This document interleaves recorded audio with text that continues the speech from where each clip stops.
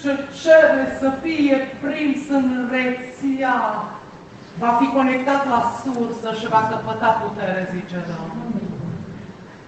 Cel ce-i prins în rețea va fi alimentat cu întăritura care vine de sus și va putea să rămână în capul oaselor. Cel ce-i prins în rețea va putea să lumineze de jur împrejur și să fie de folos și celor de aproape și celor de departe. Că lumina răspândită va intra viață și va lucra binecuvântare.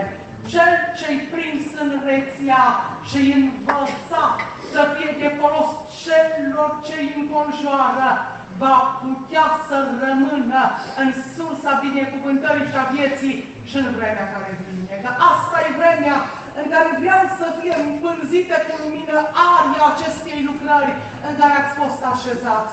Pentru ca numele meu să se proslăvească aici, acum, în această vreme. Pentru că se vor schimba lucrurile, chiar sub privirile ochilor voștri de carne.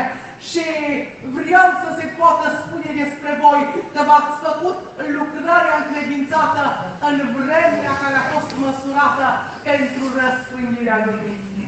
Și eu voi da biruință și eu, zice Domnul, voi alimenta rețeaua cu puterea de care aveți nevoie ca să fiți înviorați și întăriți să faceți lucrarea în numele meu și voi și vă să fiți umpluți de bucuria împlinirii slujbei, zice Domnul.